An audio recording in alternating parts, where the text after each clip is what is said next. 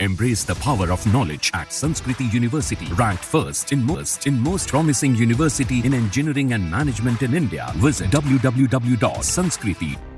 गुजरात में चांदीपुरा वायरस से एक और बच्चे की मौत हो गई। उत्तर गुजरात के साबरकांठा और अरवली ज़िले में स्वास्थ्य विभाग की टीमें एक दर्जन गाँवों में सर्वे कर चुकी हैं।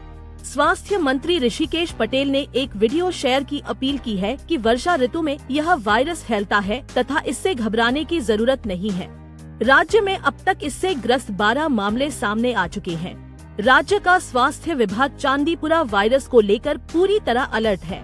बीते सप्ताह इस वायरस ने चार बच्चों की जान ले ली थी। हिम्मतनगर सिविल अस्पताल में भर्ती एक और बच्चे की रविवार शाम को इससे मौत हो गई। अहमदाबाद के बाल रोग विशेषज्ञ डॉ. राकेश शर्मा बताते हैं कि मानसून में सर्दी, खांसी, पेट दर्द, डायरिया, उल्टी की शिकायत होने पर उपचार के साथ PCR polymerase chain reaction test कराएँ।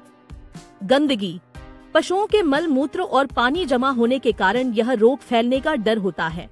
हिम्मतनगर सिविल अस्पताल के निवासी स्वास्थ्य अधिकारी डॉ. विपुल जानी ने बताया कि अस्पताल में अब तक संदिग्ध चांदीपुरा वायरस के आठ मामले सामने आए हैं। इनमें से पाँच की मौत हो चुकी है, जबकि तीन का उपचार चल रहा है।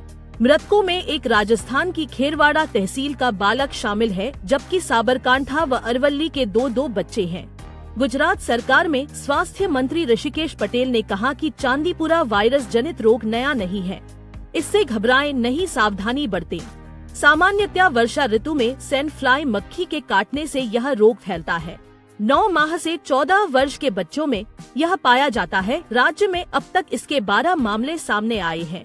बच्चों में बुखार, उल्टी दस्त सिरदर्द और नसों में खिंचाव आना इसके लक्षण होते हैं। चांदीपुरा वायरस बीमारी की शुरुआत अक्सर तेज बुखार के साथ होती है। दस्त और उल्टी जैसे लक्षणों का अनुभव होता है। ऐसे में इस बारे में अगर जागरूकता कम हो तो यह मौत का कारण बन सकती है।